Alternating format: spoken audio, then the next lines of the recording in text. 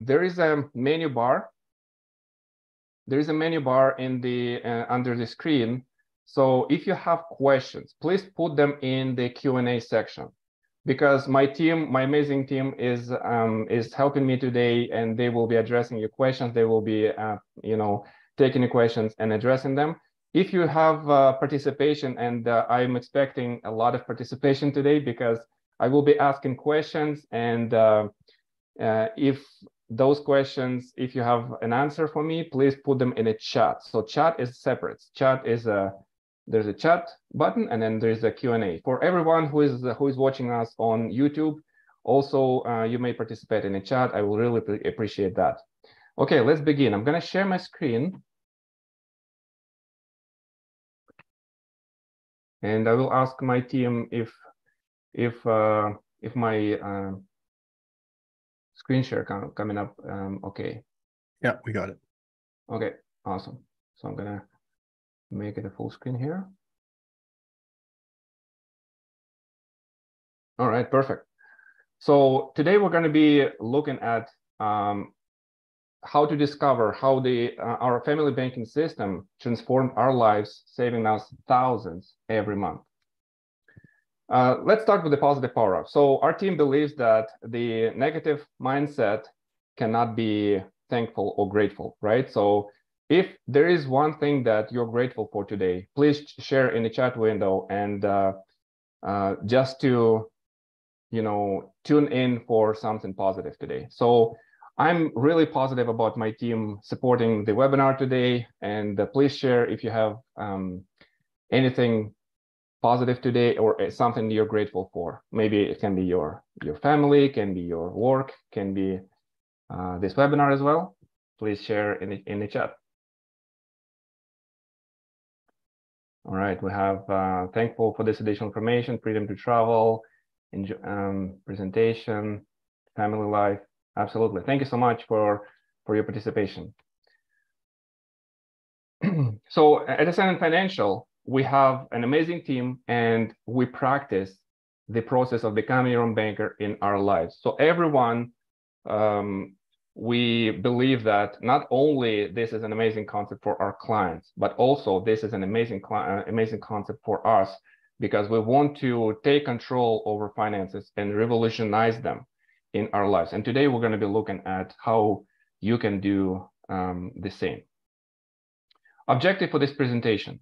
So the number one objective is to review how we think about finances. Number two is uh, I'm going to show you what the problem is of using the traditional banking system. And number three is um, to help better understand the solution.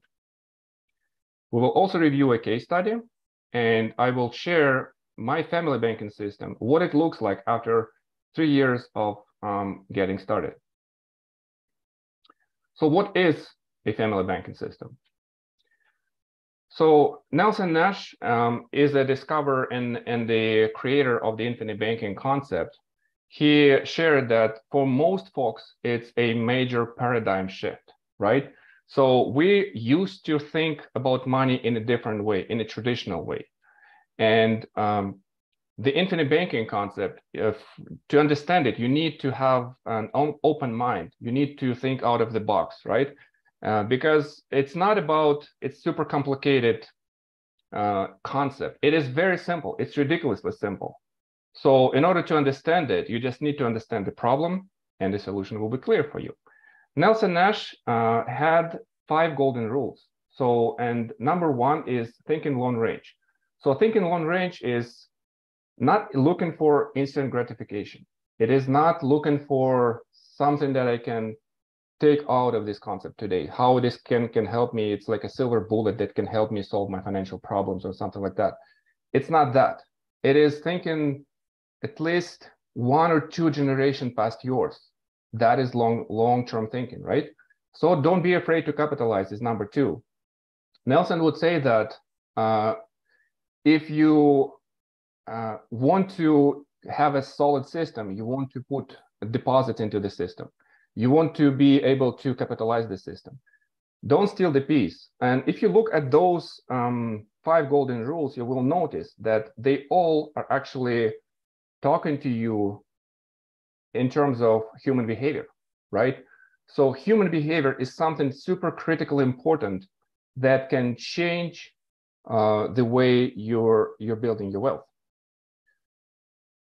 If you have a tool, you can use it properly and build something with the tool, or use it properly to achieve your objective. But it is uh, it is a human behavior that can actually improve the the work. For example, if you're like a carpenter, your skills uh, can um, you know can help you build something beautiful from this, right? And your behavior, what you do with this tool, actually changes everything. So for the for someone who is practicing infinite banking, there is a tool, but the way we use it may be may be different from from one person to person, from one household to, ho- to household, and uh, the outcome will be absolutely different. So Nelson was addressing human behavior. He would say, "Don't steal the peace."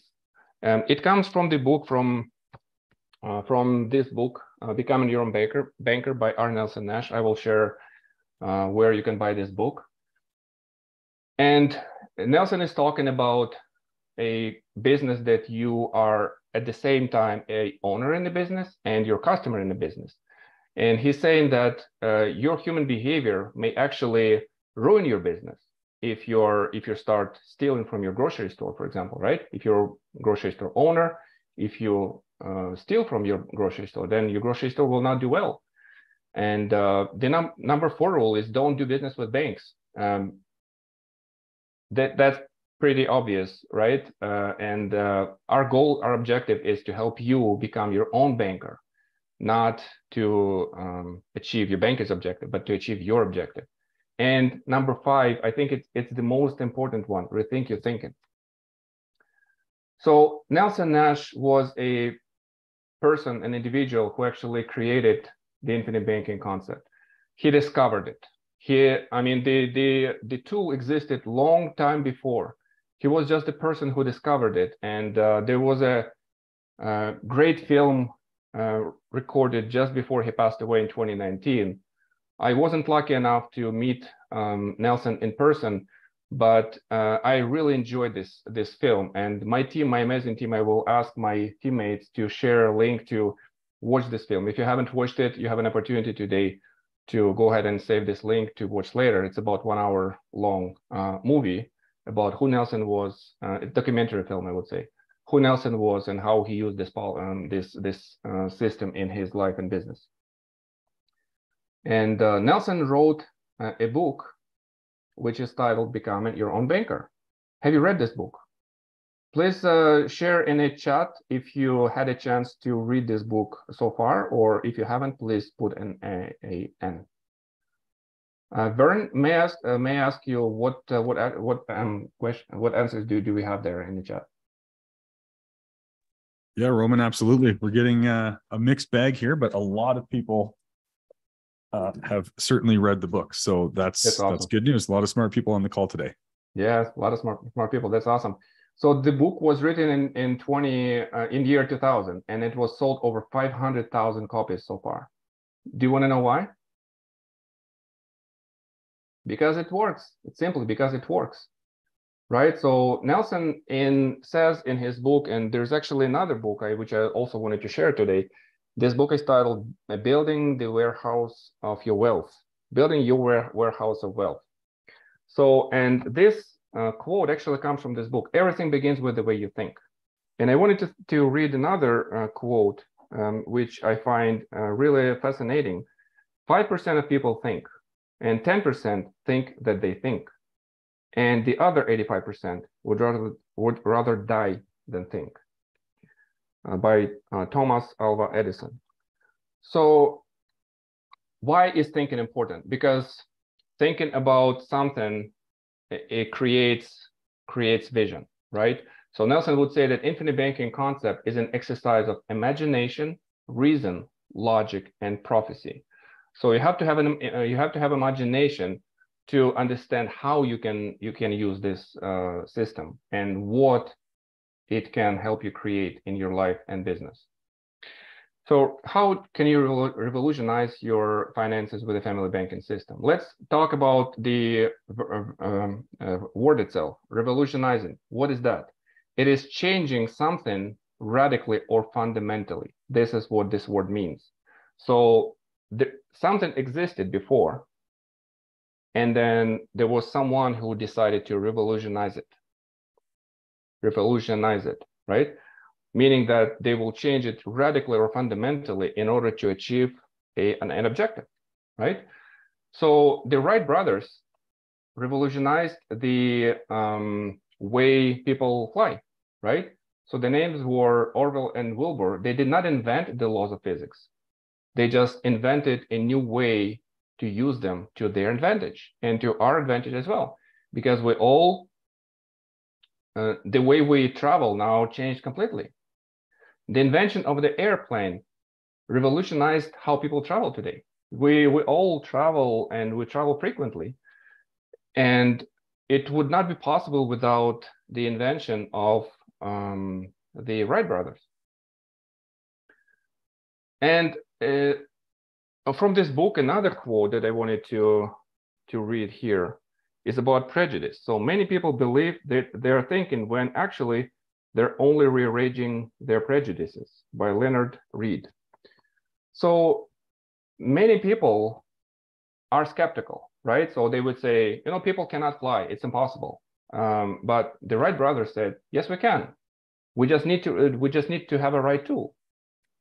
And another set of people would say, you know, you need a bank to save or or to finance things that as it relates to your needs. But Nelson said, no, you don't really need a banker to warehouse your wealth. You can become your own banker. And that is that is why he wrote this amazing book. And if you ha- haven't haven't read this book, you have an opportunity today. so Nelson Nash did not invent banking. Banking existed way long before before Nelson discovered it. He just discovered a new way of solving for family families' need for financing as it relates to their needs. So what is a traditional way of banking? You probably already know how banking works, right? So we all know this, um, but just to kind of summarize, the traditional banking system wants us to work hard and get paid. And when we, when we get paid, again, it's not about just just T4 employment or working for someone. It's also about your business. You get income coming in, right? So you have to have a place to deposit it somewhere because yeah, it, it may be your, you know, safe deposit box. It may be your vault at home, or it can be someone else's bank. But the problem with your, you know, safe deposit box or shoebox is that this money is not working for you. And in order to spend this money, you need to make a transaction. You need to take money from this uh, place where you store, you store your wealth, and you need to exchange it for the goods or services, right? So, and and if it's cash, then it's not growing. If it's gold or silver, it is not growing and it's even harder you need to exchange it for uh, for money and then you need to make a transaction the banking system is in place because it is so easier to make transactions with the banking system right? So uh, there is a someone else's bank that was established way before i opened an account with this bank. When i deposit it then i need to pay for my bills and expenses. And the problem number one here is that when I pay my bills and expenses, uh, my, the money is leaving me. And then when I have, let's say, uh, let's say I don't uh, have money to pay for, for my bills. Let's say I only have money to pay for half of my bills, right? So some people have enough cash to pay for all their bills. Some people don't have enough cash, cash to pay for all their bills. So they, will borrow, right? So the bank will also provide them an option to borrow. And what it entails is paying interest, right? So, and then let's say we paid all our bills and then we save. Um, and on average, uh, people save five to 10%. Today, I actually met, uh, met a client who actually is saving 25% of all they make. And they're actually doing a very good job, you know, saving. But on average, an average American or average Canadian actually saving five to 10%. So, and then what's left is being either invested or uh, put into some sort of, uh, you know, savings place, right? And people of the, uh, the clients of the bank would actually seek a higher rate of return in order to increase their investment, so to make sure that they say their savings work. And when they do this many many years, they hopefully want to retire. And if there is uh, enough money to retire, they retire. If there if there's there's not enough money, you know, we we all see a lot of older folks who actually are still working. They because not because they like to work, right? But probably because they cannot retire comfortably right now. So there is a market risk is also associated with investing. So, and if we talk about the banking function, there's always in every transaction that happens, there's always four characters in financial play. There is a depositor and there's a borrower. And you uh, you're familiar with this function, right? So depositor needs a warehouse for the capital. The depositor needs to put money somewhere. The depositor needs to put money into some safe place where the money would would be safe. And he also wants to grow equity, but with the traditional banking system, it's almost impossible because you know regular uh, checking accounts um, provide liquidity, but and convenience, but they don't provide growth of the capital. And then you need to take money and pay for stuff, pay for uh, to buy a car, to buy to pay for your mortgage. You need to sometimes you need to borrow money, right? So you need to borrow money from the bank. So the borrower needs access to cash. And if they don't have enough, they borrow and they need to pay interest to the bank owner. So someone else is your banker and a bank owner. It's not usually you, right? It's not yourself. So once you put your money into the bank, there is a banker, and the banker provides access to cash uh, when you need it, and the banker is responsible for growing the banker's equity um, and controls in terms of financing, the terms of financing. So when you take a mortgage, when some when a borrower takes a mortgage, then the banker will uh, come up with terms. Okay, you have this interest rate, you have this repayment schedule. You also need to provide your income uh, credit score. You need to prove why you need this money, and then also the banker is responsible for taking a uh, security for the for the for the for the loan. The bank owner is a fourth character who is who has established this entity. The banker has the warehouse of the capital ready for you to deposit money into. And he makes money by charging interest. The banker is the beneficiary of all the money that is coming coming in, right? So there are four of them: the depositor, the borrower, the banker, and the bank owner. And in terms of the flow of money, uh, the money is flowing from the depositor to the banker. When the depositor makes a deposit, the money is flowing and the uh, being uh, being going from the depositor to the banker. And then when the borrower takes a loan the borrower starts start making payments. The payments there's a there's a flow of money that is going to the bank owner. So in terms of the depositor and the borrower where is the money flowing? To the depositor and the borrower or from the depositor and the borrower? Vern, may I ask you which which um, answers do we have in the chat? The direction of the money flow, where is it going from and towards who is it going um, going from? So in terms of regular people, ordinary people, right? So is money flowing from or to uh, the, the bank customers? Well, let's see here. People are being a little bit shy. I also have my uh, YouTube's as Jayson Lower here. Oh, I hear see some people they're saying from the depositor to the bank. Some people are saying from. So some people are participating here, and I was just going to check in on the the live stream to see if we're getting any uh, chat in there. Oh, someone yeah. said toward the bank. So there you go. You're even getting some some live stream people on YouTube, Roman. Well done. Awesome. I appreciate I appreciate the answers, everyone who participated. I appreciate um, that saying that yeah, those are right right answers the money is flowing from the depositor to the banker and then from the borrower to the bank owner. The payments are coming from ordinary people. If you don't have a place to store money, then money is leaving you. And then you're all familiar familiar with the process of banking, but the problem is that you're not controlling it. But guess what? There's always someone else, someone else who is controlling it. So when you have your bills to pay, you got your money, you got your payment, paycheck, business profit, whatever it is. Let's say you have expenses, furniture, vacations, clothes, you know, mortgage payment, boat, chiropractor, physio, uh, you know, expense, car payments, credit cards, appliances. You need to pay those bills. Maybe you open your drawer, you take out your those envelopes that you know you get you got your bills by mail or by email now. so now money needs to needs to leave you. So which direction is money leaving, it going? Is it to you or is it from you? The answer is obvious. The the errors, the red arrow showing that money is leaving you. So all these dollars is actually landing into someone else's uh, checking account or wallets. And now you paid those bills. Awesome, great job. But where's your money? You may be wondering, where's my money now? So you may be looking in your wallet. Yes, all those bills and are paid, all those all that stuff is is purchased, but where's my money now? So the banking function is outsourced. That's the problem. So it is you don't own the banking function in your life. It is outsourced. And if it if it is outsourced,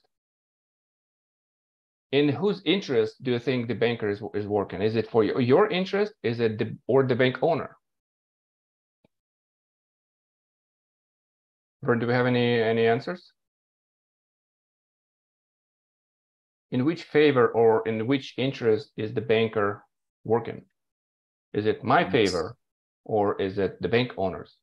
Yes, we're getting some people chiming in here, just uh, getting their fingers going on the typing. We're seeing bank owner so far. A couple people are saying bank owner. Yeah. And many people and, are saying for the bank. You got it. Awesome. You got it. So do you think you would do a better job if you control the banking function? Probably yes, right? So ask yourself a question. Who is the banker in your life? Is it someone where your money is going, or is it you? The banker, is it you who provides access to cash, who is responsible for growing the bank's equity and controls the terms of financing? Who is the bank owner? Is it you or someone else who has the warehouse of capital and makes money by charging interest? You need to understand that everything, every single transaction you make is a financing transaction. You're either paying cash or borrowing money to pay for things, right? So if you're paying cash, you need to uh, save up this cash first. And then when you saved up, then you pay your bill or your expense, your purchase. It is it is uh, any any expense. Let's say you purchased a a uh, MacBook. My son just purchased a MacBook, but I'll tell you later how he financed it. Now, if he was to save up cash for that, then all this cash is gone now. He has a MacBook. But is he losing interest or or he got he he basically never paid any interest to anyone and he's okay? The answer is he's losing interest because this this cash, there's a lot of cash, you know, you know, MacBooks cost a lot of money. This cash could have been invested into something and produced an interest. So by paying cash, you're actually losing interest, which is financing decision when you borrow money, if you don't have cash, you don't have to wait until you save up for this expense. You can spend your credit card right away. You can swipe your card. You can tap into your line of credit, and then it comes with a high cost because you are paying interest, and you all know this.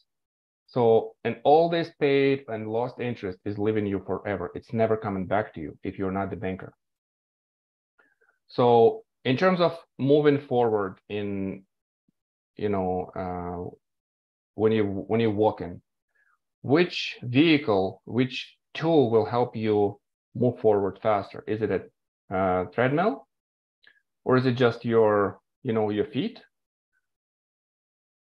So, what do you think will who who is moving forward faster in terms of the distance? Is it the lady on a treadmill, or is it the guy who actually had a head a headwind, heavy headwind? I know these pictures are hilarious. I just wanted to kind of see if this resonate resonates with our listeners today. Vern, do, what do we have? Okay, let's see. See if we get some comments here. the the guy with the headwind. yeah, actually, yeah, actually, he is he is moving forward faster than the lady because he is using his his his feet, his legs, and he is yes, he has a head a headwind, but um, at least he's not moving moving backwards. So I would I would say that this this uh, picture represents uh, someone who is paying cash, and the lady walking on a treadmill represents someone who is borrowing money and then paying interest, and then pretty much, you know, uh, arriving at zero all the time, right? So is there a third option? Is there a better option? This is a big question. So you need something that pushes you forward, like a tailwind, right? So what can it be to, you know, to help you move forward faster? And the answer is there is a tool which can help you walk faster, and it's called a power boots or power shoes. Uh, basically, when you walk, they just push you forward. They help you advance uh, in terms of the distance that you that you cover, and that saves a lot of energy for you. No matter how fast you're walking, you're actually moving way faster than than the regular people walk. This is a new invention, and I really love the love this analogy where, you know, this tool helps you actually move faster. I've never tried these ones, but uh, it is on my bucket list to actually try to walk in these ones. They're quite expensive though. And the solution for that is uninterrupted compounding. This is something that pushes you forward. This is something that Nelson would say creates a tailwind in your life, right? So how does it move, move you forward? By daily growth of your capital. So that's how infinite banking can help you move forward. So the daily growth of your capital is, is moving you ahead financially. So financial tailwind is all about recapturing the interest you're either paying to banks or losing by paying cash. So all these problems of either losing interest to banks uh, if you borrow or paying cash, the financial tailwind can, can help you recapture. Now, if you have this financial tailwind and the payments now come back to you because you are the banker in this transaction, and the direction of payment you see is changed. Now, not only you paid for these expenses, but the payments are actually coming back to you as a financial tailwind. And you have a, you have money, and you also paid for these expense uh, expenses for these things in life. And at the same time, your money is actually growing every single day. So let me ask you: Are you committed to creating this financial tailwind? if if this financial tail if i prove to you today that this financial tailwind actually works would you be committed to creating this financial tailwind? Vern let, let me help you uh, what are the listeners say? Well roman I'll, I'll, get us started. I'm definitely create uh, definitely committed to creating a financial tailwind. Awesome. And we're getting a lot of people saying yes. Started. sorry you already started, Vern. So I know that you're on track on on creating this financial tailwind, and uh, I started it too. It's not a it's not a silver bullet that that happens overnight, right? So it's a process. It's not a product. So we need to get going on this, and the faster we go, the more the easier it is to actually uh, progress financially. So agreed. Which which answers do we have? Yeah, we've got a lot of people saying yes, so that's good. Absolutely. Lots of uh, comments. Absolutely. Thank you so much for for being committed. And uh, today you will learn how to how to get started. And the tool is participating and dividend paying whole life insurance. And today we're going to be talking about this tool, and I will show you exactly how this tool helped me recapture a lot of a lot of money, uh, and and uh, that I was losing uh, to banks. So you're not limited to just one policy. So it doesn't have to be your system of banking, the family banking system does not have to be just one policy. It can be a policy on a wife, can be a policy on a husband, can be a policy on a child, can be a policy on a second child, right? So it can also be a policy on a business partner in your business. It can also be a policy on a key person in your company, right? So there is a personal policy you can create, there's a policy in your business you can create, and all these policies create your financing monetary system, uh, sorry, your family monetary system. So you can also insure uh, every person in your life several times, right? So you can also create a second policy on a wife, second policy on a, on it on a husband. Um, and you will learn later on that uh, in my family, my uh, all my almost all my family members are actually uh, uh, insured twice or even three times with different policies, right? So and that all creates one one pool of of uh, banking where I can tap into every of those policies and borrow from it and then pay on my terms, pay it back on my terms. Let's look at the properties of this tool. So there are four um, major properties of this tool, and I wanted to review um, how the properties works and and help you better understand the um, how how the tool actually works and helps you um, advance financially. Number one is premium. So premium is uh, think of, of, a premium is a, as a as a deposit in a bank, right? So it can be annual or monthly. It, it doesn't have to be just annual or just monthly, right? It can also be quarterly. Um, so, and you as a policy owner, you decide on what the premium is, how big the premium is. It's not the insurance company is telling you, or your like, or your advisor is telling you how much your premium should be. You decide if you want to put 1,000 uh, a year into the system or 100,000 a year. We actually have people who put um, seven figure into this system a year uh, as clients of our company. So the premium, what it does, if it's structured properly, it increases the death benefit every single year. And uh, how this works, um, there is a great video that is titled on our YouTube channel, on Bankers Vault YouTube channel. It is titled Making Sense of Paid Up Addition. So Richard Canfield is an amazing uh, teammate and an amazing advisor who actually explains exactly how this tool works and it's just a very short video, seven minutes long. And I will ask my team to please share this, this link. You can save it later. Please don't watch it now because it will take you focus from, from this uh, presentation today. But save it for, for later and you can watch this video to better understand how exactly the premium helps you increase the death benefit. Why do we want to increase the death benefit?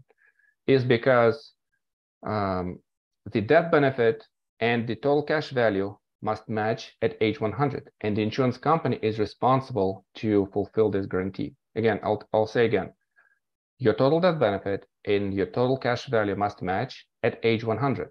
An insurance company is responsible to fulfill this guarantee. What you can control, you can control how big of a death benefit you have. If you if your behavior is focused on increasing the death benefit, you will know exactly how to do that. And your advisor will also help you set it up properly so that your policy is structured in the right way and your death benefit increases every single year. Number one is cash value. There is equity inside of your policy, which is growing daily. This is exactly the uh, financial tailwind, which creates uh, ability for you to borrow against this cash value there is a tax-free growth inside of the of the cash value. Uh, if you are uh, using this this tool properly and, and and correctly, and if it is structured properly, then the there is a tax-free. Who loves who loves tax-free?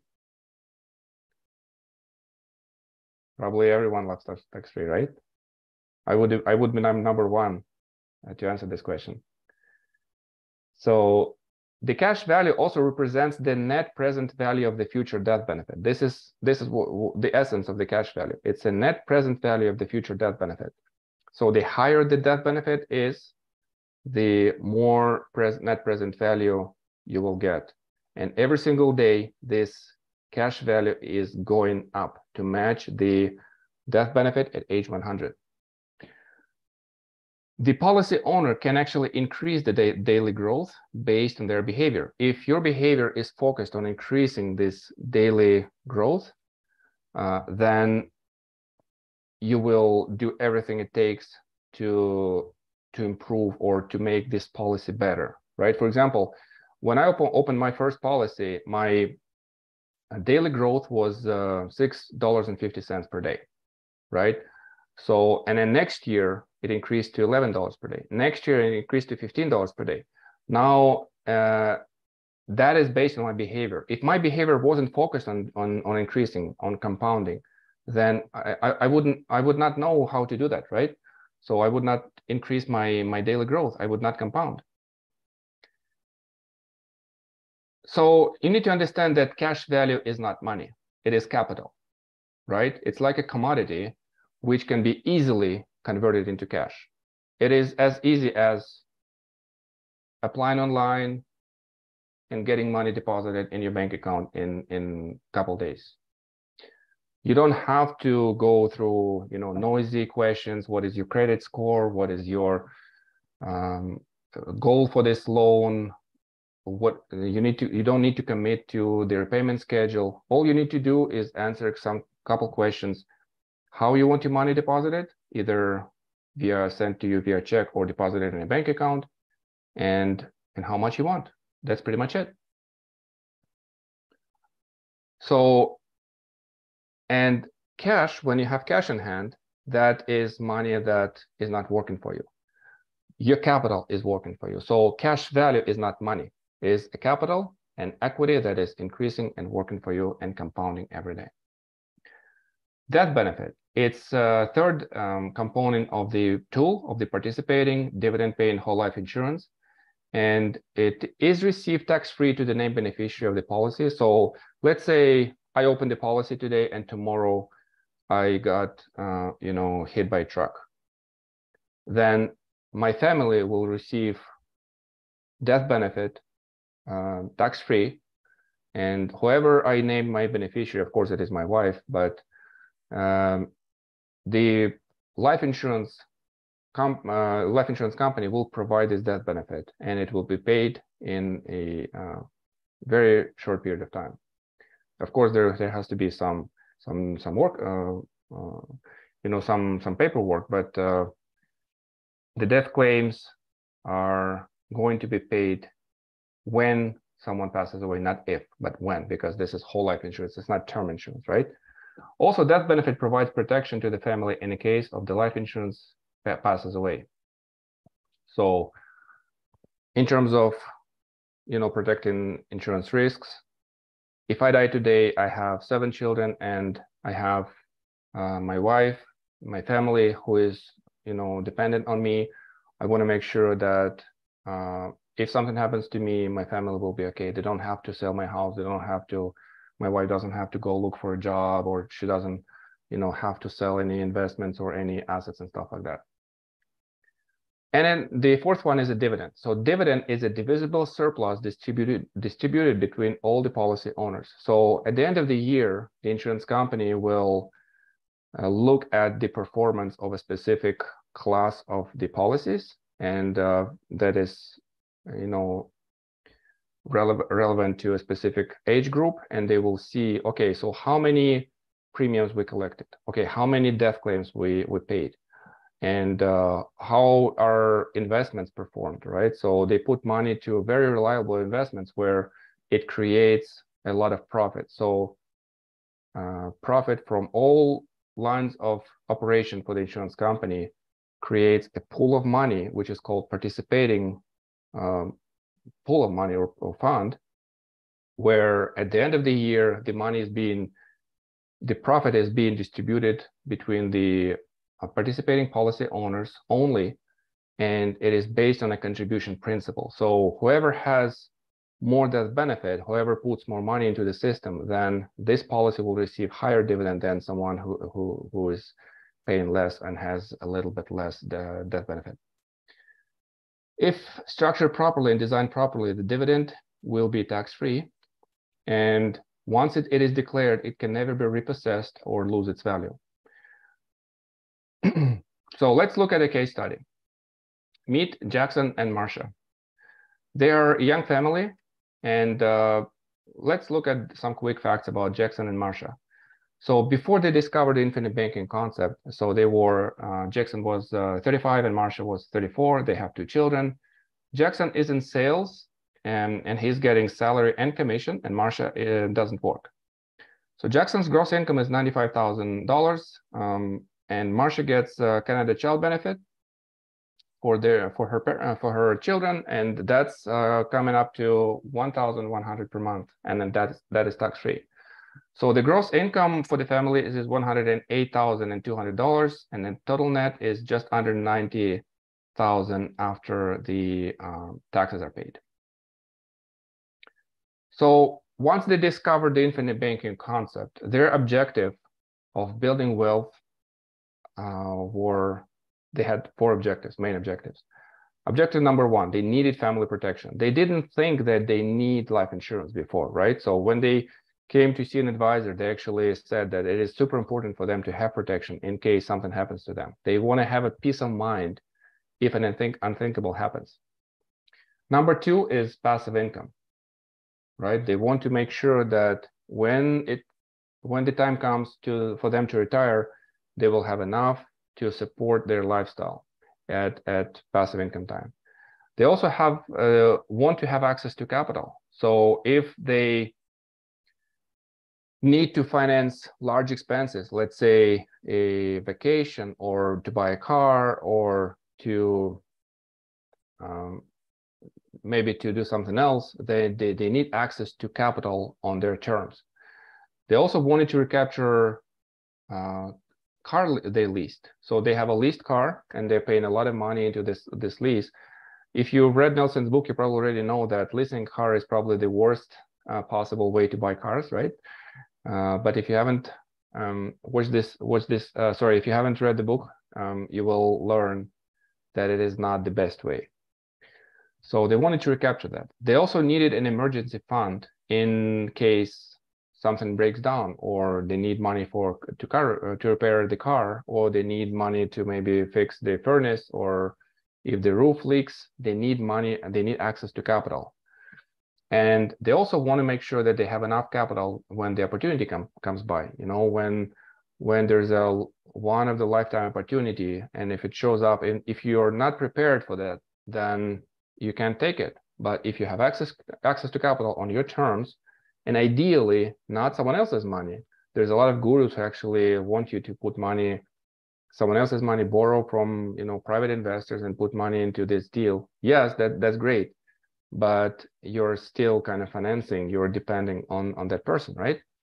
So if you have access to capital on your terms, if you are the banker in this transaction, then you can control the repayment schedule, you can control the uh, the amount of payment and, and stuff like that. And objective number one is to leave a legacy. Uh, they want to pass on the legacy to the children tax uh, efficiently, tax effectively. Let's look at their current assets and liabilities on one page. So the current assets, they have 5,000 in a bank and there's they're contributing about 11,000 per year. That's just under 1,000 per month. Um, they put it in a bank account. Asset, num asset number two is investment. So basically they have a tax-free account where they have the balance of $65,000 and they could, they're contributing 13,000 per year. Basically they're maxing out their um, TFSA right, for two people.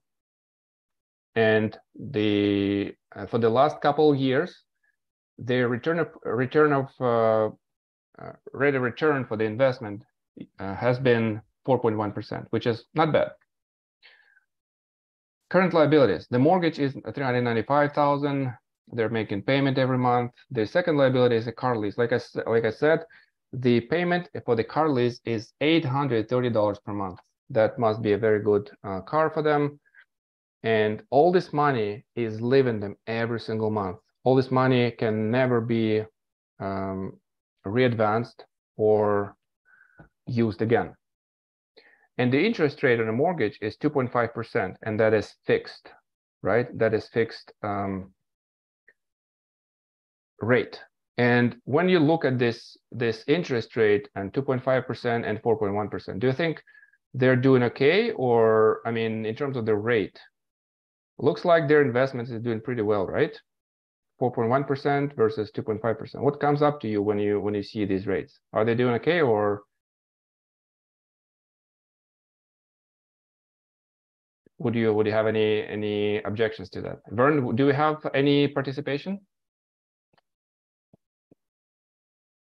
Let's see, we got Roman.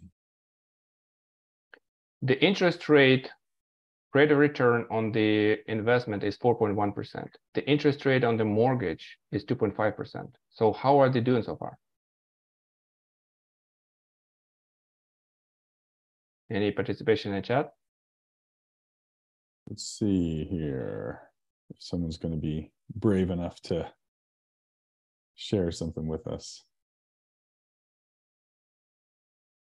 Maybe the question isn't clear. 4.1 is a decent rate. It better is. than most. Some someone said better than most. Steve said better than most. Yeah. So, but the interest rate can cannot tell you the whole picture, right? Would you agree, Vern? Absolutely. Let's look at actually how much money they're paying to to banks in terms of the interest. So, if you look at the profit they made last year on sixty-five thousand, it comes to twenty-six hundred to sixty-five dollars, and the interest paid for the for the mortgage is actually twenty-two thousand five hundred. So, how is that now? What comes to you? What comes up to you when you see these two numbers? Are they kind of advancing ahead, or are they kind of moving ahead, or moving backwards? To me, it looks like about one step forward and nine steps backwards. Exactly. Does it look like this? Does it remind you this poor dog that is trying to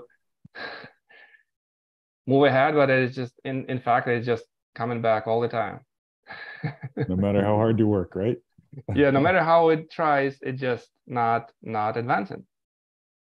So that reminds me of this this family. They are doing okay, but then all the interest that they pay into banks is actually being lost, and it's just just bringing them back, bringing them back.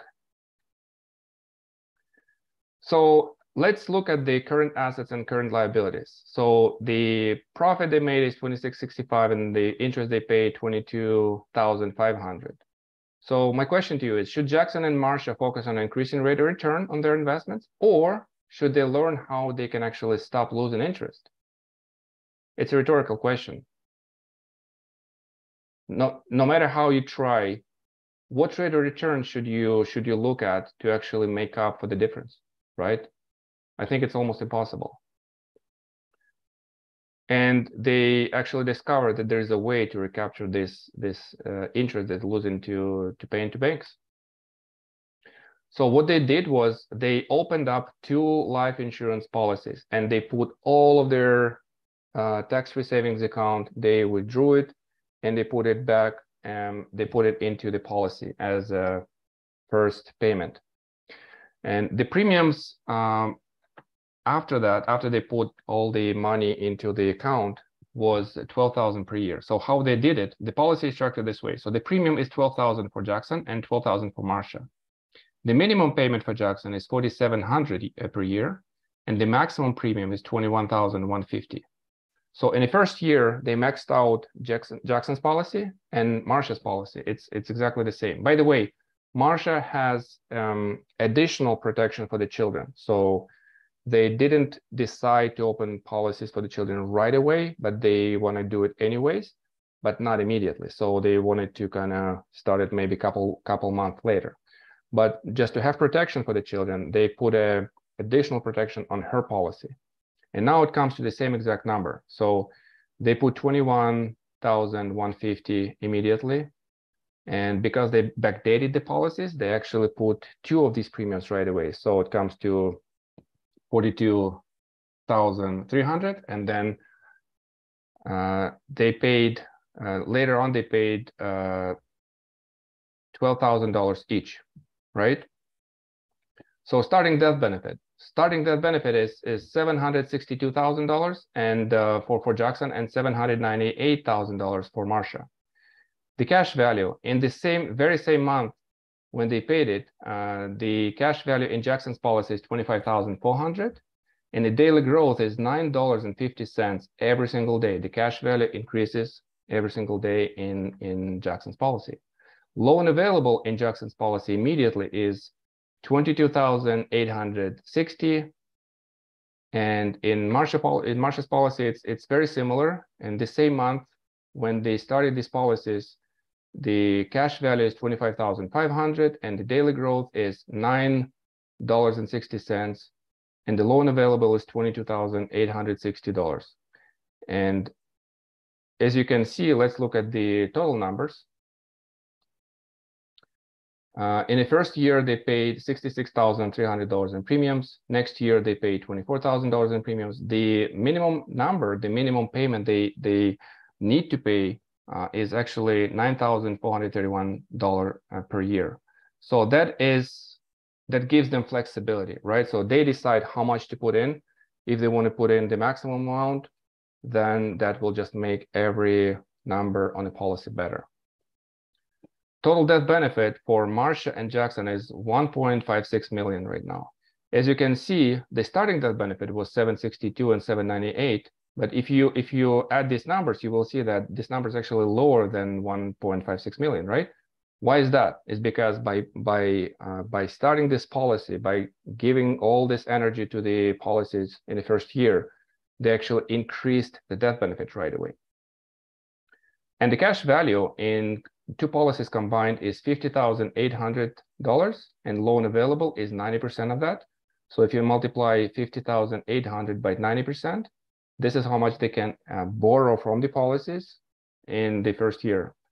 Um, and the total cash value growth is $19.10 per day. So they decided to take out a loan immediately to recapture a vehicle lease payments. So the residual, residual lease balance on, on, the, on the lease was $39,000. So they have 47 months left to pay. Um, if they didn't do it, they had, they, they had to pay almost four years and the monthly lease payments is $830. So they took two policy loans, one from Jackson's policy and one from Marsha's policy for the amount of $30, $39,000 and paid it off completely.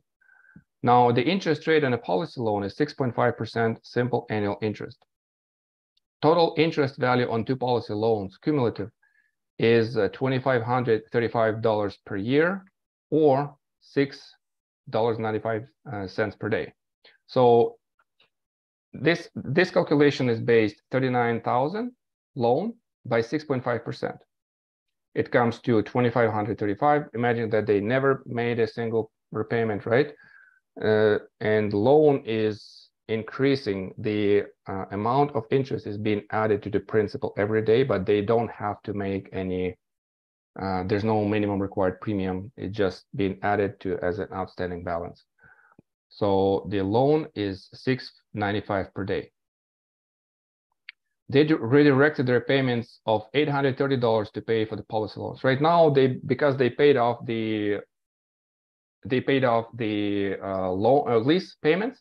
Now they don't have to pay them, and from the cash flow, 830 is now freed up, right? So they can actually take this the same cash flow and redirect it to their own banking system. And that's exactly what they did. And they decided to pay the payments back for 60 months. And if you if you read Nelson's book, you will learn why you actually want to pay yourself a little bit more and a little bit longer than initially planned, right? So initially they wanted to, to pay it for 47 months, but when you pay more and then you pay longer, then you're basically feeding your system with more money and your system is overall growing faster and and uh, it is much more sound business. So as you see, the loan is 695 per day, but the daily growth is, what was it? It's what was 1910 per day, right?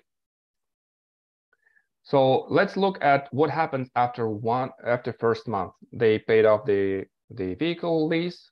Now they have they made their first payment to the policy loan.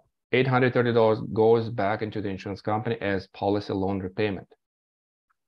cash value increased by 573 in one month because the daily growth is $19.10 per day by 30 days multiplied by 30 days that's 573 the interest on the loan for one month is $211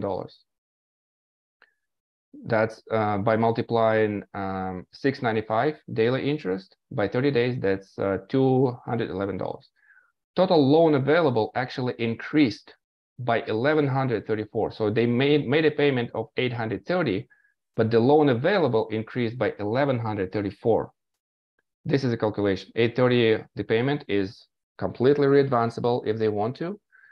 Plus 90% uh, of the cash flow increase minus 211 that comes to $1134 per month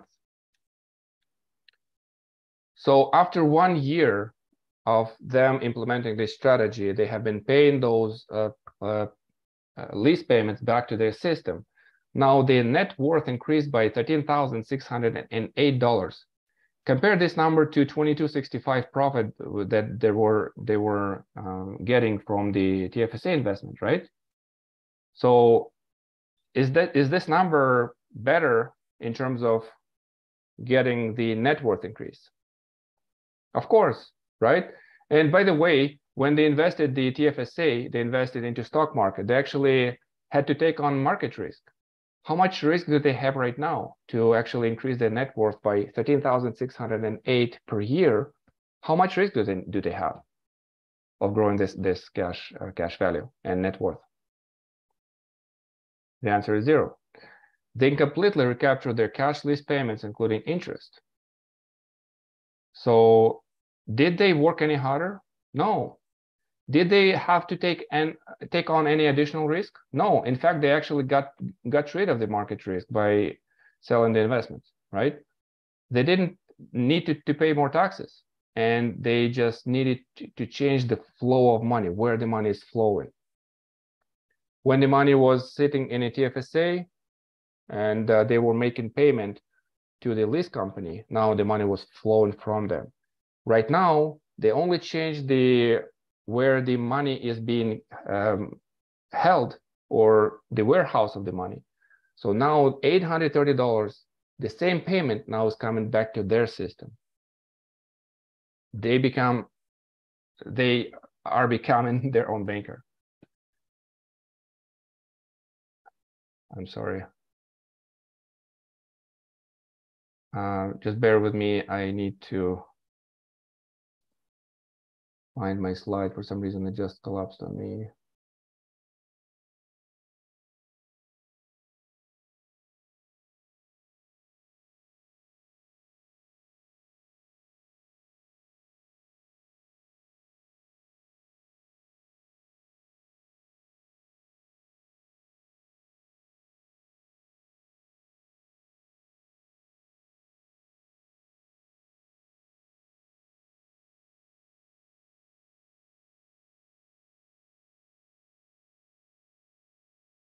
While I'm trying to fix this uh, wonderful technology, Vern, do we have any questions maybe that we we could address?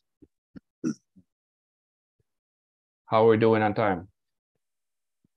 Oh, Roman, you're you're crushing it. My camera will kick in here in a second. Awesome.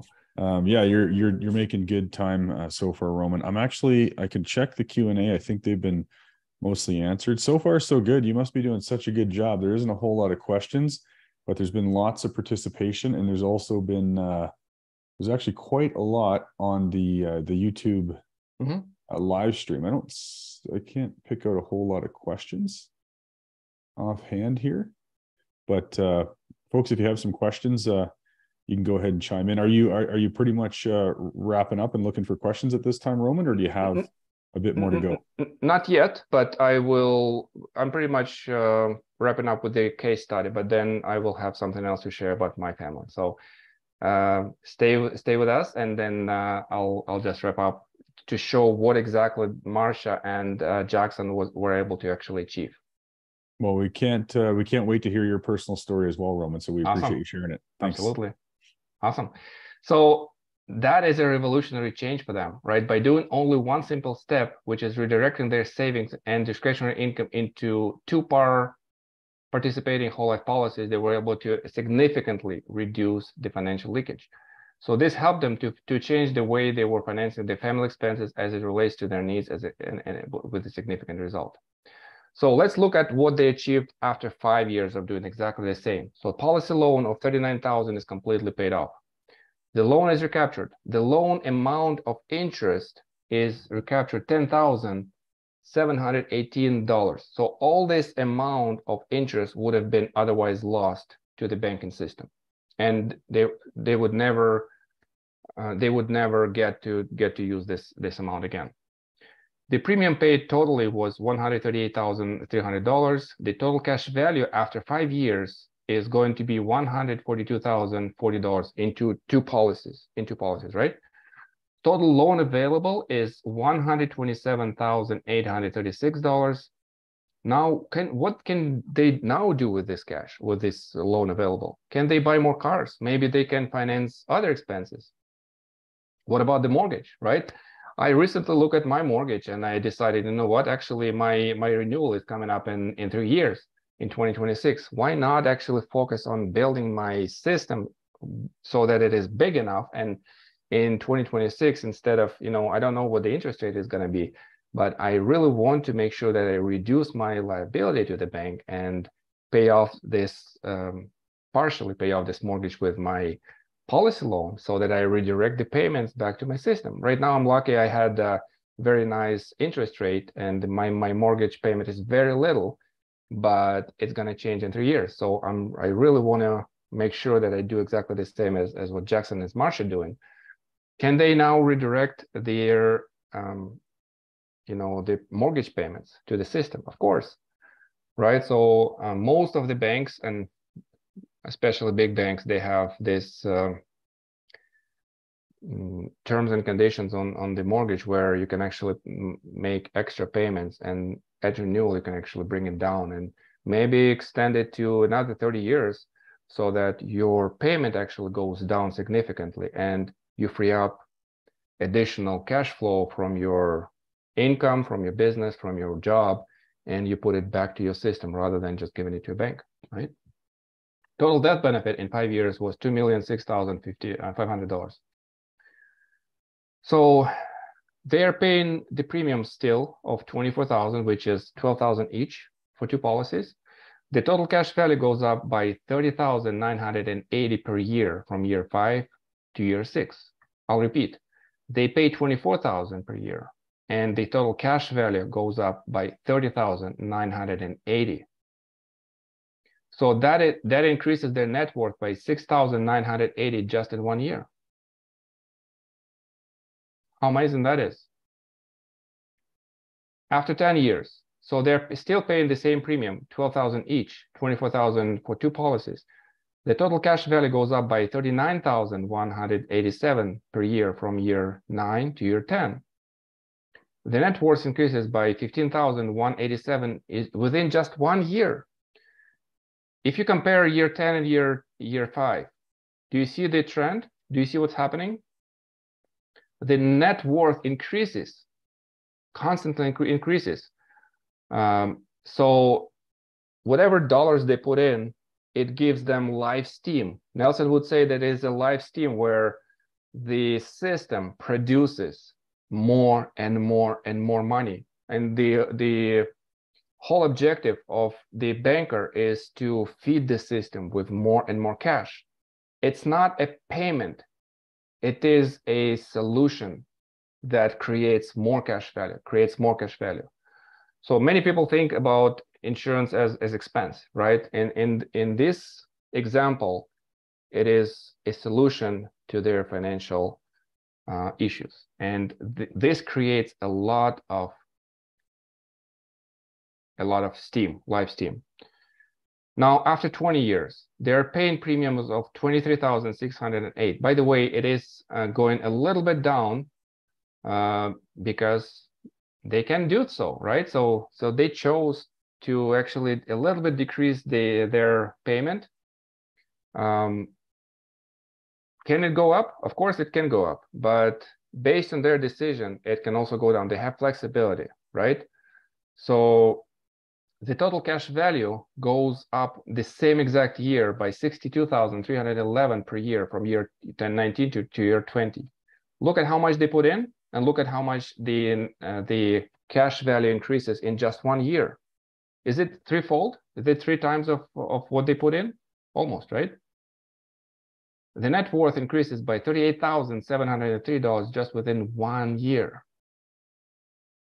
So at this point, the total cash value is 818,000 and the total loan available is 736 because they've been they've been doing this for 20 years now. The total cumulative premiums paid are 494 and 300 dollars. So they paid less than half a million in 20 years into two policies. And it created them $736,000 they can actually access on their terms. The total death benefit at this point is $2.2 million. That is the power of compounding. Let's look at their objective of building wealth. So did they achieve their objective of building family protection? Yes. Do they have access to capital on their terms to finance large expenses in the family, like cars, vacations? Absolutely. They can even recapture their mortgage completely, right? So did they recapture their car lease payments? They did did if they have a, um, an emergency, let's say a furnace breaks down or you know car breaks down, they need to buy winter tires. They need to you know if there is a family emergency, can they travel internationally? Of course, they can do anything they want. And if there's an opportunity, can they take this opportunity and increase the net worth even even further by creating a new you know source of income? Of course. Now let's look at passive income at retirement and uh, living a legacy. So after th 31 years, they actually decided to take passive income. And Jackson at this point is 66, Marsha is 65. The total cash value at this time is $1.737 million. So they decided to stop making premiums. They have option to continue, but they decided to stop making those premiums and they want, wanted to collateralize the policies with the bank. The banks love this product because they know they will get their money back for, for sure. So, uh, so next year they started pulling passive income from the bank and the bank opens a line of credit for them and that is tax free because it's it's debt. The passive income for Jackson is $46,905 per year and for Marsha it's 47,940 I'm sorry, 46,905 for Marsha and 47,945 for Jackson. Altogether, passive income is $94,850 per year, and that is tax-free because that's that's debt, that's the loan. So the whole objective for them is not to service the debt. Uh, the interest is being accumulated and added to the principal until they die because they have enough cash uh, cash value to provide for the security for this loan, for these uh, for for these two loans. So what does the passive income look like for Jackson? So when he uh, starts taking this passive income, he takes it for 23 years and he passes away at 80, 89 years old.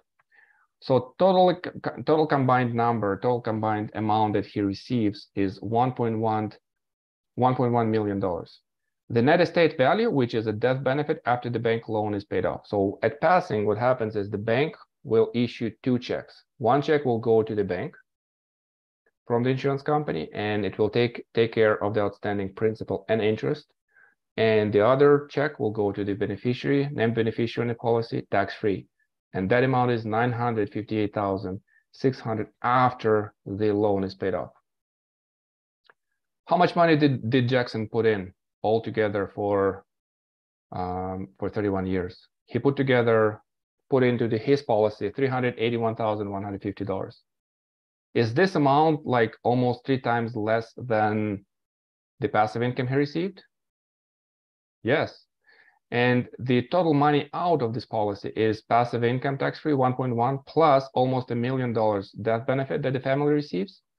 That comes to more than $2 million, 2,061,335. and that is tax-free because that benefit in Canada is tax-free.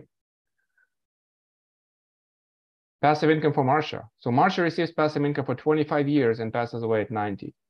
So the total passive income received is 1.172 million, and the net estate value after the death benefit pays off the loan at the bank is 1.127 million dollars. So cumulatively, Marcia paid $377,808 as premium for 31 years, and money out. It happens to be a round number. Don't ask me why. It's just math worked out this way. So it's 2.3 million. So it's 1.172 the passive income she received, and also 1.127 million she left behind as net estate value uh, for the family. So this amount is actually six times less than what she received. My question to you is now, how much money do you want to put in there in your own banking system? Is an alternative investment an option even, even for such a passive income? Think about how much they would have need to create in, in an investment to, to do the same for them, right? So to, the investment has to earn constantly 6% net of taxes, net of fees for 56 years in a row. How is that? How realistic is that? 6%. Do you think it's realistic for 65 years in a row, Vern? Do we uh, have any any answers? Any any question? Sorry, answers. If six percent is realistic for the for the return of this investment for 60 yeah 56 years definitely have uh, one person chiming in saying no way let's see never some people just no. start giving us uh, crying laughing emojis so i think people will uh, understand that that's pretty unrealistic yeah so also this investment has to provide access to liquid cash on demand without interrupting compounding, which is impossible. Uh, well, it's very hard with an investment, but it is it is a option with the whole life insurance. Also, there's no death benefit other than just account value. Let's say they open this investment and let's say it produced 6% in the first year. Great. What, what if they die in the first year. How much money will the family receive? Probably just the account value plus 6%. That's it, right? So there's no family protection, but whole life insurance actually has this death benefit. If such an investment vehicle was a thing, can you imagine CRA actually not claiming its share of this investment? Probably they would be first in the first in line to actually claim this uh, their share, right? Their share would probably be huge. If you know what can do better than participating whole life insurance, please let me know because provided the same equal risks and the same terms and benefits, um, I don't know if there is any alternative investment to be compared to this, to this uh, vehicle to provide for this passive income. So they achieved the objective of um, making sure there is passive income in retirement and that is only going up, it can never lose its value. And to leave a legacy, they also achieved an objective because just the legacy itself was much more than whatever they put in as a premium. So if Jackson and Marcia did it, so can you. Now, uh, I want to address Nelson's book again. I want to, you know, open page 65 from this book and address a question: How do I get started? So assuming that you are by now sufficiently convinced that this is a course of action that you would like to take, the question becomes, how do I get started? Then the most important word that comes to my mind is desire. Without it, you probably cannot do it. Remember Parkinson's law. Everyone is already spending all financial resources on what he thinks is best. There has to be some honest introspection at this point, and a commitment to get out of financial prison must be a burning passion. So in order to get started, you need a desire and a commitment. I already know that my amazing audience already has a commitment. So we just need to get a right coach. So text the word schedule from your mobile phone to 780-809-4599 to book a call with one of our amazing advisors. And we will help you get started. We will help you better understand the system and the concept itself. And I will ask my team to actually uh, share this um, this number again in this in the chat window so that um, our listeners can book book calls. Let me introduce Pushkar Family Banking System. From my, what my family bank looks like three years into the process. Back in 2020, this is where I discovered infinite banking for myself. The story was I was looking for ways to actually become mortgage free faster. And I found a strategy that uh, would entail making extra payment to the mortgage. But this is not was clicking inside of me. I was kind of hesitant should I do that or not because you know giving too much money to banks and be free of mortgage is great, but where's my money? What if I need money to actually reaccess it? I will probably need to open a HELOC or home equity line of credit, but then paying interest again wasn't very exciting for me. So back in 2020, um, we had a baby. His uh, his name was R. R. Nelson, Rudolph Nelson. And at that time, my oldest son was 15. I have two sons, then three daughters, and then two sons again. So my son was 15, my second son was 14, Eugenia 12, uh, second daughter uh, 10, third daughter 8, and then son 5, and then a newborn. And I have uh, my amazing wife Natalia, and this is what this system of policies looks like for us when we just opened it, right? In 2020, I opened eight policies, one for me, bigger one, the bigger one, and then I opened uh, small policies for my children, 1200 each. As you see, a policy doesn't have to be like 20,000 or 50,000. It can be as little as 1200. It can be as big as 15,000. It's up to you to decide, right? So I decided my number was about 25, $26,000 per year. And I basically broke it down between eight people. And by the way, you don't see my wife here because for her, I decided to do just a term insurance for now because she wasn't working, but I wanted to make sure that she also has protection. So my starting death benefit for me was uh, 1.7 million, and my every of my children also had uh, death benefit, but my cash value, my total cumulative cash value from all, all eight policies three years ago in 2020 was $11,400. So I put in 26,000 and immediately have access to 11,400. My daily growth from all these policies initially was $12.80. And I will tell you later how I use my policy loans, by the way. And uh, let's look at what the same policies look like three years later. So the same policies, by the way, I have 12 policies now, but now I'm showing eight policies only to show you kind of the difference, the change, right? So three years ago, uh, I put in 26,000. Now in three years, I've put in $78,018. The asterisk is showing that this is only for the same policies. But on top of that, I also have additional policies my total death benefit increased from 2.187 million to 2.386. So where did the $200,000 uh, additional death benefit showed up uh, showed up from? It showed up from me properly structuring the policy so that my death benefit always goes goes up.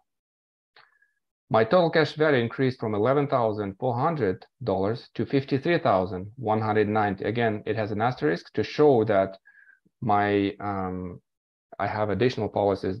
This is not the total cash value I have.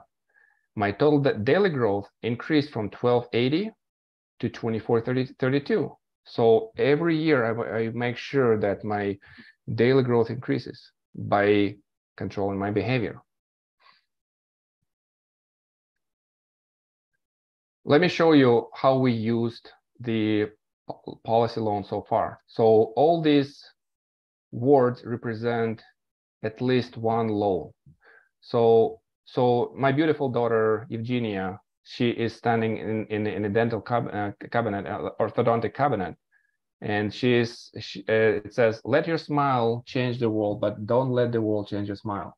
So my first policy loan was used to finance her braces, right? And then after that, I see how amazing how beautiful her smile is. So I'm feel so I'm feeling so comfortable, you know, um, knowing that we not only we financed this expense, but also we captured all the interest that would have otherwise left my company forever, sorry, my, my family forever. We also financed Mazda, Mercedes van. We financed Honda Civic. Uh, it's a third car that my son actually uh, took a policy loan for. We financed home insurance for 2022. We financed home insurance for 2023. How, so how this works is basically take a loan and I pay my home insurance bill for the whole year. And then I stay, start making payments back to my system. We financed trip to Florida. We financed car repairs, IKEA furniture, two Apple watches, lawyer's expense because I opened my corporation, digital camera, property taxes, car insurance, hot tub.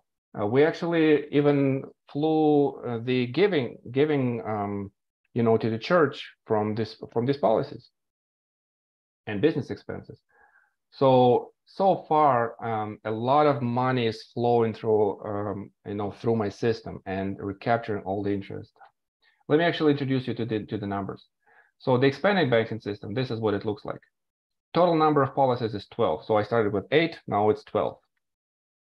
The number of life insureds is nine. So as you see, if the policy is 12 and, and life insurance is nine, then probably some of my family members have more than one policy, right? and you can do the same. This is how you expand your system. Total death benefit increased by, uh, and now it is uh, $3,950,000. Total cash value is $109,100 right now, just in three years. And the, I have outstanding loans on 11 out of 12 policies. So the total uh, daily cash value growth is 5740. That's including my all um, policies, not just the ones I started with, but also the new ones, right? So that, if you multiply it by 365 days, that's $20,900 increase of the net worth per year. And monthly loan repayments I'm sending back to the system is $4,300. And I recaptured thousands of dollars of interest. If you look at those, those expenses I shared with you, you can imagine how much money I would have spent to banks financing and paying interest to the banks financing all those expenses. But now all the payments, 4,300 each month, is coming back to my system, recapturing my interest. So let's do a maximum borrowing test. So um, I, I'm not going to be sharing how much outstanding policy loans I have, but let's imagine I have maximum, right? So my loan available up to the maximum is $98,190. So that's 90% of my total cash value, which is $109,100 right now. Let's see if I borrow maximum amount from my, all my policies, will I still have a tailwind? Let's check.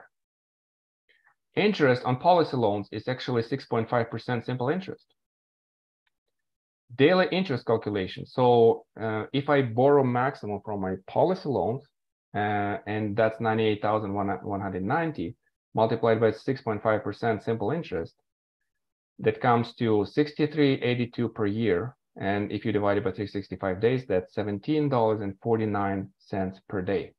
My total daily cash value growth is 5740. Do you see the difference? The difference is my my my tailwind. Monthly loan repayments is 4,300. So loan available goes up every month by 53.25 each month. Why? Because I can recapture all my, my loan repayment again if I need to. And there's another $1,025 on top of that because I'm increasing, I'm, I'm, I'm getting my cash value increase and that's, that's the calculation. So 1550 comes from $57.40 each day times 30 days and multiply by 90%, it comes to 1550 plus my repayment, 4,300 per month, and minus the interest, $524.70. If you multiply $17.49 per day by 30 days, you will get $524.70. The outcome is 5325 is increasing my total uh, loan available every single month. That's a revolutionary revolutionary change.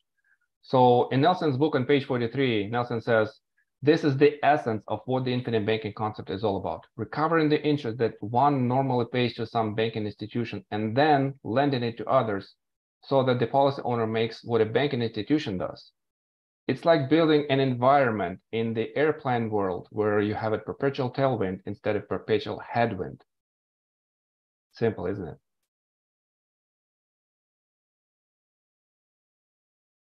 From this saying, from this quote, you can see that it says lending it to others.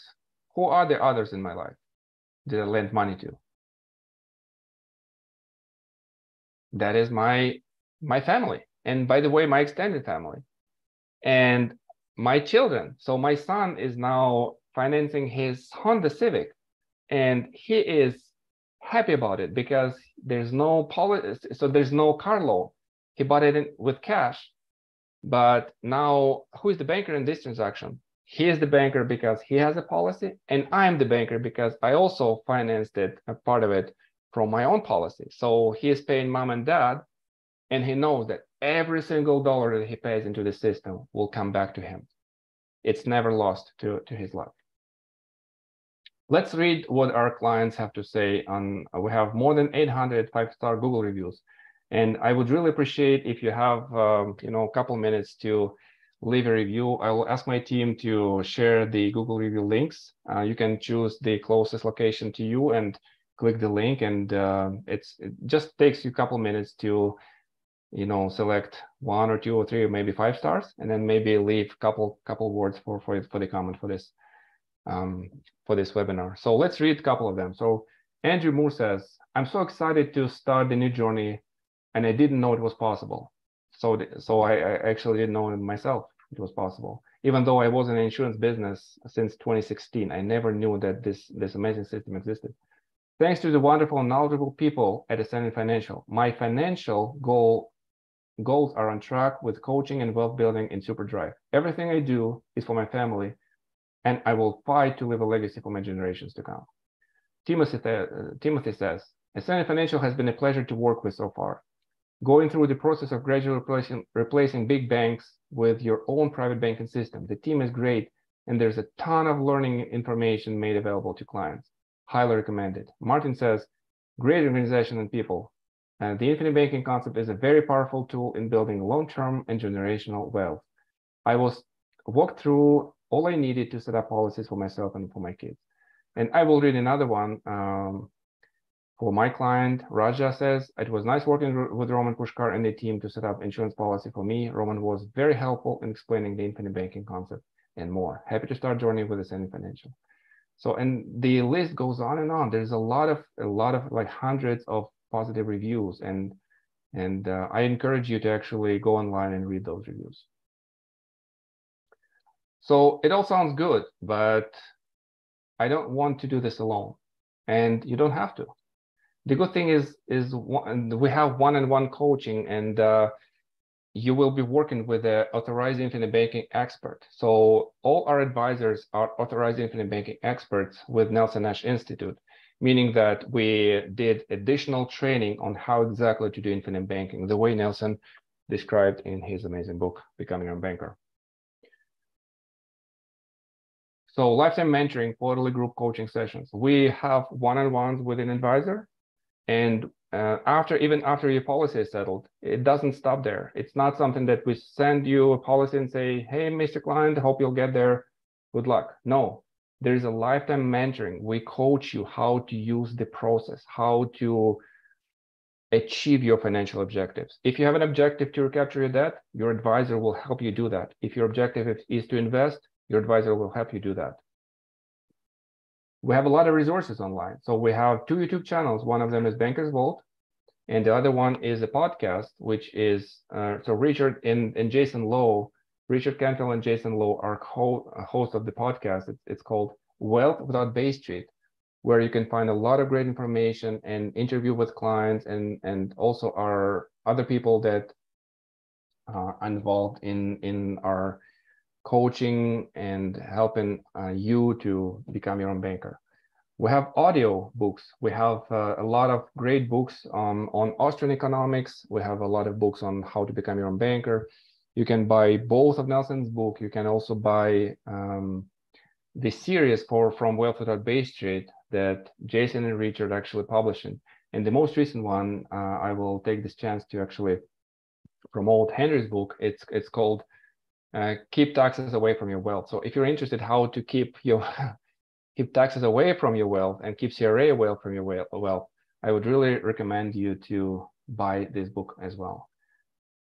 And the coaching is available to you, so please take advantage of that and, and book a call with an advisor. So now you have two options. First option is to do nothing. Nothing changes if nothing changes. So you'll continue to work your butt off the banks and for the banks, and everyone else now continues to get all your money. Second option is schedule your discovery call and take hold of your uh, personal finances and put the control back in your hands. Picture a day where financial control is in your hands, not a bank, not the government, not the risky stock market. When your finances are exactly where, where you want them to be, and you know with certainty that you have the freedom to travel when you want to travel, relax when you want to relax, and serve when you want to serve. So the time will go by anyways. So have it go by with this revolutionary system in place rather than just doing your financial transactions the old way. Click the link you received by text or text the word schedule to 70809 and reserve a day anytime that works best for you. Take action now. Thank you so much for watching this presentation. I would love to hear if you have any questions and maybe if you have time. Vern, do we have any time to, to address some questions?